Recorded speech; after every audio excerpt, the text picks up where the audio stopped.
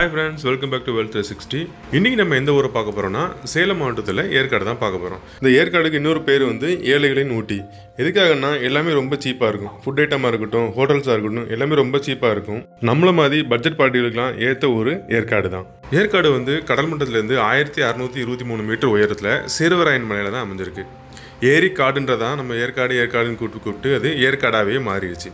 இது வந்து சேலத்துலேருந்து முப்பத்தாறு கிலோமீட்டர் தூரத்தில் இருக்குது இது ஒரு சேதுவராயன் மலைக்கு போய் ஏறுறது வந்து இருபத்தி ரெண்டு கிலோமீட்டர் தூரம் வந்து நம்ம ஏற வேண்டியிருக்கும். அதான் இருபது ஹேர்பின் பென்ஸை தாண்டி போக வேண்டியிருக்கும்.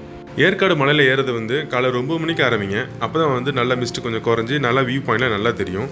இது உள்ளே போகும்போது செக் போஸ்ட்டில் வந்து என்ட்ரி ஃபீஸாக வந்து காருக்கு நாற்பது ரூபாயும் பைக்குக்கு வந்து பதினஞ்சு ரூபாயும் வாங்குவாங்க. அதை நீங்கள் கேட்டுகிட்டு நீங்கள் மேலே ஏற ஆரம்பிக்கலாம். இது வந்து சீசன் பார்த்தீங்கன்னா அக்டோபர் டு ஃபெப்ரவரி தான் நல்ல பெஸ்ட்டான சீசனாக இருக்கும். இந்த மாதத்தில் போனீங்கன்னா தான் அங்கே உள்ள சீசனை வந்து நல்லா என்ஜாய் பண்ண முடியும். மற்ற டைமில் போனீங்கன்னா கொஞ்சம் வெயிலாக தான் இருக்கும். இந்த டைம் போனீங்கன்னா நல்லா சில்லுன்னு கூலாக இருக்கும். அங்கே நடக்கிற மலர் கண்காட்சி வந்து ரொம்ப ஃபேமஸ்ஸு ஆனால் அந்த மலர் கண்காட்சி வந்து மே மாதம் தான் நடக்கும். ஏற்காடு வந்து காஃபிக்கு ரொம்ப ஃபேமஸான இடம். காஃபினால ஏற்காடுன்னு தான் சொல்லுவாங்க. நீங்கள் போயிட்டு வரும்போது கண்டிப்பாக காஃபி பிரியர்கள்லாம் காஃபி வாங்கிட்டு தான் வாங்க. அது மட்டும் இல்லாமல் அங்கே ஹோம்மேட் சாக்லேட்ஸ் கிடைக்கும். ஸ்பைசஸ் ஏலக்காய் மற்ற எல்லா ஸ்பைசஸுமே வந்து நல்ல சீப்பாகவும் நல்ல பெஸ்ட் குவாலிட்டிலையும் கிடைக்கும். அதையும் நீங்கள் வாங்கிக்கோங்க. இந்த ட்ரிப்பை நீங்கள் ஒரு நாள் ட்ரிப்பாவோட பிளான் பண்ணிக்கலாம். ஒரு நாள் போதும். இல்லை நல்லா என்ஜாய் பண்ணணும் ரெண்டு நாள் ட்ரிப்பாவோட பிளான் பண்ணிக்கோங்க. இந்த வீடியோவில் நாங்கள் ஒரு பத்து முக்கியமான இடத்த வந்து நாங்கள் ஏற்காட்டில் காமிக்க போகிறோம் இன்னும் நிறைய இடங்கள் இருக்குது இருந்தாலும் ஒன் டே டூரை பிளான் பண்ணி இந்த பத்து இடத்த காமிக்கிறோம். இந்த பத்து இடத்த சுற்றி பார்க்குறதுக்கு உங்களுக்கு ஒன் டே போதுமானதாக இருக்கும். நீங்கள் வர்ற பாதையிலேயே நாலாவது கொண்ட வேலையில் வந்து நின்று நல்லா சீனரிஸ்லாம் பார்த்துக்கோங்க. அந்த பாயிண்ட்டை வந்து சூப்பராக இருக்கும். சுற்றி எல்லா சீனரிஸும் பார்க்குறதுக்கு அதனால் அந்த நாலாவது ஹேர்பின் பெண்டை நீங்கள் மிஸ் பண்ணிடாதீங்க. அங்கே கண்டிப்பாக நின்று ஃபோட்டோஸும் எடுத்துக்கோங்க. சரி வாங்க இப்போ நம்ம போகலாம் இப்போ நம்ம முதல்ல பார்க்க போகிறது ஏற்காடு லேக். இதை எமரால் லேக்குன்னு சொல்லுவாங்க. இந்த லேக் வந்து ஏற்காடோட ஒரு ஐடியல் பாயிண்ட்னு சொல்லலாம். சுற்றி மணலால் சூழப்பட்டிருக்கும். நடுவில் ஒரு லேக் பார்க்குறதுக்கு ரொம்ப அருமையாக இருக்கும். நல்ல மிஸ்டோட சூப்பராக இருக்கும் பார்க்குறதுக்கு. இந்த லேக்கோட ஸ்பெஷலே வந்து போட்டிங் தான். ஸோ போட்டிங்கும் கண்டிப்பாக மிஸ் பண்ணிடாதீங்க. நீங்கள் தனியாக பெடல் பண்ணியும் போகலாம் ரெண்டு பேரோடையும் போகலாம் இல்லை மூணு பேரோடு சேர்ந்து போகலாம். ஆனால் எக்காரணத்தை கொண்டு மோட்டர் போட்டில் போயிடாதீங்க. அந்த மோட்டர் சத்தம் வந்து நம்மளோட அந்த ப்ளசண்ட்டான ஒரு மூடியை வந்து ஸ்பாயில் பண்ணிடும் அதனால் மோட்டர் போட்டை மட்டும் நீங்கள் அவாய்ட் பண்ணிக்கோங்க. போட்டிங் வந்து காலையில் ஒம்பது மணிலேருந்து சாயங்காலம் அஞ்சரை வரைக்கும் நடக்கும். அதனால் அதை மிஸ் பண்ணிடாதீங்க. அதுக்கு எவ்வளோ எவ்வளோ சார்ஜ் பண்ணுறாங்க நான் டிஸ்கிரிப்ஷனில் போடுறேன். நீங்கள் இந்த சார்ஜஸையும் பார்த்துக்கோங்க. அது மட்டும் இல்லாமல் இந்த லேக்கை சுற்றி வந்து பார்த்தீங்கன்னா ஃபுட் கோர்ட் இருக்குது ஹார்ஸ் ரைட் இருக்கும் ஸ்நாக்ஸ் ஷாப்ஸ் நிறைய இருக்கும். நீங்கள் வெரைட்டி வெரைட்டி என்ன வேணுமோ நீங்கள் வாங்கி சாப்பிட்டுட்டு நல்லா இந்த கிளைமேட் என்ஜாய் பண்ணிகிட்டே ஒரு வாக்கிங் கூட நீங்கள் போகலாம். போட்டிங் போகிறவங்களுக்கு வந்து சேஃப்டிக்காக லைஃப் ஜாக்கெட்டும் கொடுப்பாங்க.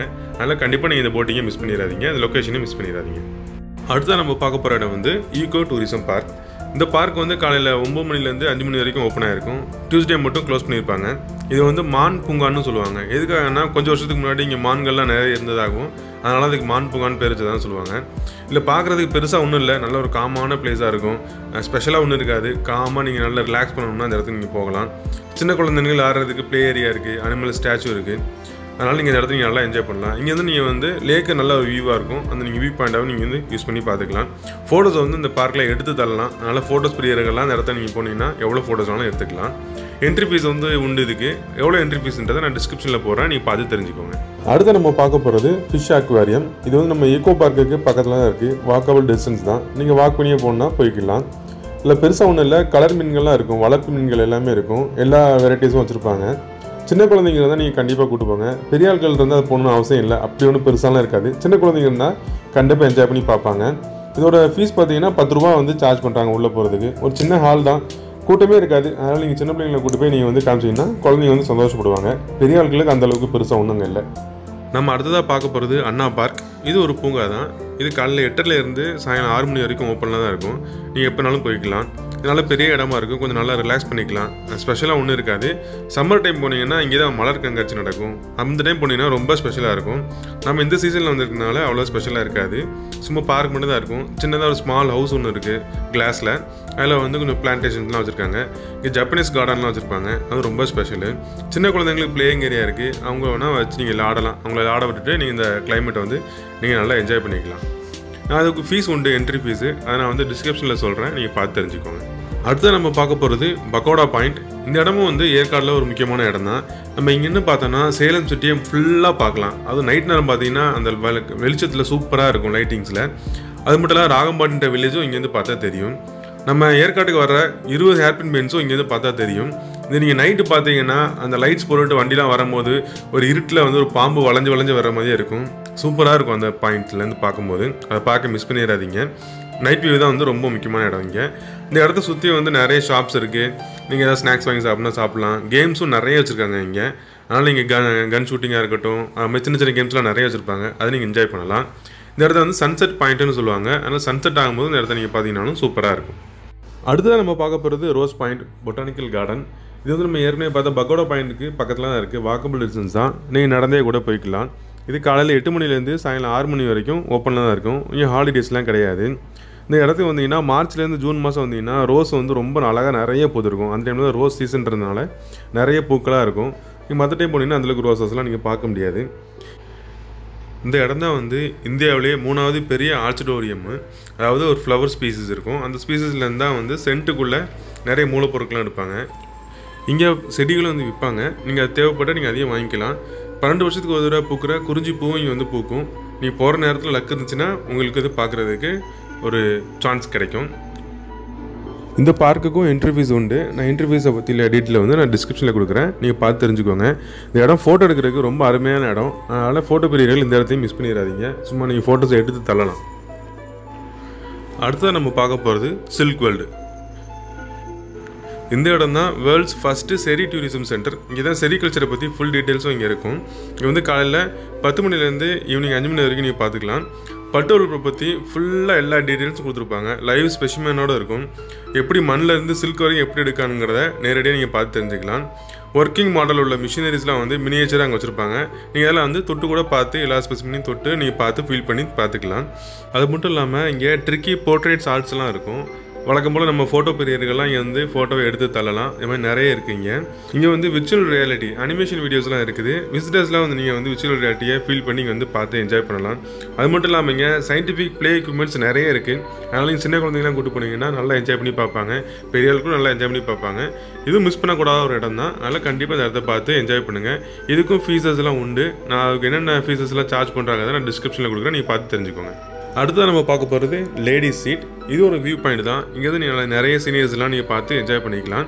இங்கே வந்து ஒரு டெலஸ்கோப்பி ஹவுஸ் இருக்குது நீங்கள் அங்கேருந்து டெலஸ்கோப்லேயே பார்த்தீங்கன்னா மேட்டூர் டேமு சேலம் டவுன்லாம் வந்து நல்லா கிளியராக நீங்கள் பார்க்கலாம். மேட்டூர் டேமில் தண்ணி இருந்துச்சுன்னா நீங்கள் காலையில் பார்த்தீங்கன்னா சன்லைட்டில் சூப்பராக அப்படியே மினுங்கும் பார்க்குறதுக்கு ரொம்ப அழகாக இருக்கும். அதனால் நீங்கள் இந்த இடத்த பார்த்து கண்டிப்பாக என்ஜாய் பண்ணலாம்.